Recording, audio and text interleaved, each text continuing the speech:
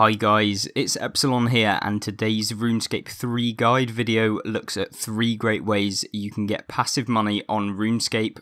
Without further ado, let's get into the guide.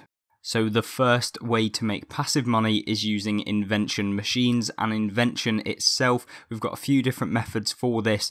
Um, one of them kind of goes into one and then one's just like an extra. Um, in terms of the first one, that being invention machines. Uh, so this is items like the Alchemizer Mark II, which is unlocked at level 108 invention, and it can be boosted using extreme invention potions to actually create the machine. You can do that in the Inventors Guild, um, and this allows you to alk items earned from Slayer and various other RuneScape related combat for prices higher than the sale in the GE. Now, alternatively, you could just buy the items from the GE, which is more than likely what everyone's going to do, and literally takes you a maximum of three minutes to do. Now, in order to use the Alchemizer, you need both Divine Charges and Nature Runes uh, to complete the alking process in this machine. If you have the previous Alchemizer, Alchemizer Mark 1, you'd need Fire Runes as well, but for um, those of you that, you know, have managed to get the second alchemizer, uh, you can earn more profit and you don't need the fire runes either. So you can look up the best items to use in the Alchemizer Mark II uh, using the RuneScape wiki page Alchemizer machine. This will be linked in the video description.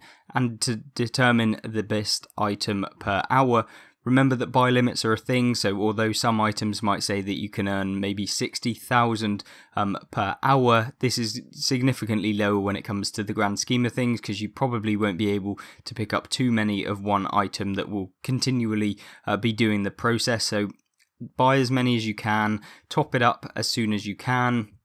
Uh, throughout the whole day, and you know, remember that they are buy limits, and that you know although it might make you 60,000 in one hour, it might not be able to then do it for the rest of the day. So top up the alchemizer with multiple different streams of items that make you a lot of GP. You can do that using that calculator and the page uh, that I have linked in the description. So make sure you're doing that. In terms of how much money you can make, um, most rune salvage items or weapons can be used to generate an hourly GP of between 20 and 30,000 GP, which seems like a, a, small amount, but over the course of one day can net you between 480,000 to 720,000 GP. Obviously, if you factor in some of the higher end ones that can make more money, like the dragon items, uh, but they have a higher or a lower actual buy limit in the GE, means that you can make about a million per day. Um, you can also increase this if you um, basically uh, make sure that you keep it to the most efficient as possible because within the calculation I did give a little error as to how much um, you know how often you'd be doing this to keep it at 100% efficiency. Now yes, this might seem like a small amount, but over the course of an entire week, you can earn between three and a half to five million a week, um, which is a nice boost for those of you that are just trying to get some passive income. And considering you can use some of the other invention machines, which we're about to talk about, um, all together, and it will basically be able to do that all in one go. So you can go and do them all at the same time, and yeah, it basically boosts up the amount of time and the amount of money that you make for that time that you spend. Now, Another invention machine, like we've been talking about, is the partial potion maker, which can get you approximately 500,000 per day using the calculator. That will be in the description as well. And you can essentially create this in the invention guild. It requires 114 invention and is boostable. You can then just add vials of water and clean herbs with whatever combination of potions is best from from the calculator. So basically just choose whichever one has the highest profit. You want to test them out before you do this though, so remember that when you buy them, you want to actually make a potion, see how much it sells for, and then make sure that the actual pricing is correct and that you can actually make the potion that yields the most amount of GP per one, um, because that's basically going to make you more money. Now, as far as other ones, uh, we have the uh, Auto Disassembler Mark II. This is unlocked at a level 81, so it's a lower level item and it, it essentially just produces simple parts. So what you want to be putting into the auto disassembler is maple logs. It uses charges um, and it can actually be made into divine charges using these simple parts and they basically can make you anywhere between 500k to a million per day depending on the prices at the time of watching this video. So obviously check out the prices yourself there will be a link in the description um, as to the best areas that you can have a look at the, the prices and then you can make up your decision as to which items you use within the invention machines and that will basically uh, mean that you can make a lot more money. So on average you'll probably be making about 2 million per day uh, just from basically putting in items into uh, invention machines. Obviously, if you don't have the invention level, then it's not particularly fantastic for you, um, but we have a few other things that you can use to your advantage to be able to do this. Additionally, creating armor or weapon perks with scavenging can be a really good way of saving some money passively. Now, this isn't something I can calculate in terms of how much money you will actually save because it depends on a variety of different things. It depends if what you're coming up against is multiple opponents where you can do area of effect damage and get tons of actual uh, kill progress. So, say if you uh, could damage um, or maybe you did bossing and you're literally just taking on one on one on a boss, there's no other mobs within the arena, you're going to probably not get very much uh, money from having scavenging, and it's probably not worth you actually putting on the scavenging perk. But for skills like Slayer, where you're constantly coming up against multiple opponents at one time, uh, that'll mean that you get more chances of actually getting these drops, which means you get more chances of getting these rare components, and they can basically save you a ton of money. Now, this can also be used if you use Brooch of the Gods. This also gives a potential drop for you getting uh, these rare components, and this saves loads of money if you're able to get components like Shadow components, Noxious components, or Ilujankan components.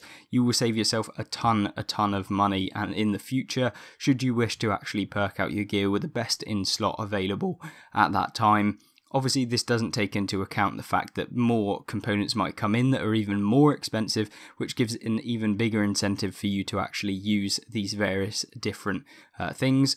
Obviously, with things like Brooch of the Gods, it's a very, very expensive outlay in the beginning.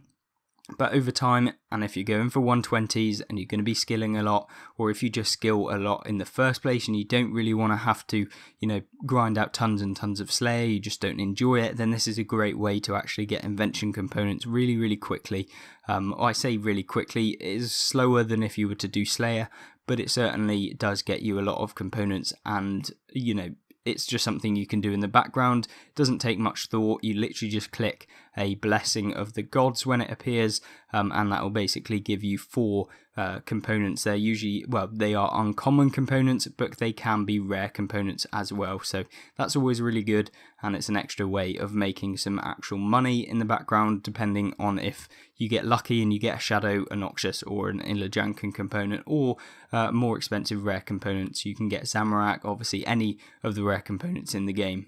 Now, another final invention way is actually using skilling perks that boost gathering skills. For example, mining, archaeology, um, such perk is Fortune. Now, this gives a chance of doubling the material gathered and is great for saving money for arch materials or if you're AFKing arch caches for money. And it also works for mining, woodcutting, etc., so it can produce considerably more GP. So that's just an extra note for those of you that maybe want to maximize the amount of money you're earning when you're doing these gathering skills.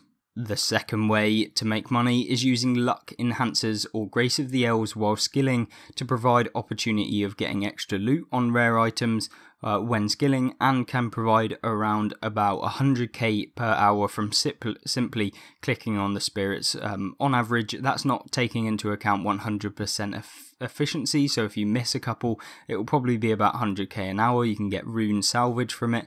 You can also get the chance of getting Hazelmere's signet rings, um, and that will basically give you another chance of getting clue scrolls if you combine both the grace of the elves and the luck of the dwarves or any of the luck rings.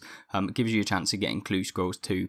So this is, although it is a very expensive uh, kind of outlay or investment for players. If you're looking to go for max and you're kind of low down in the first place, then buying these is actually a good way to make some extra profit. You can combine this with the Brooch of the Gods that we talked about earlier, and you can make tons and tons of just passive income from literally doing nothing else except from equipping these items.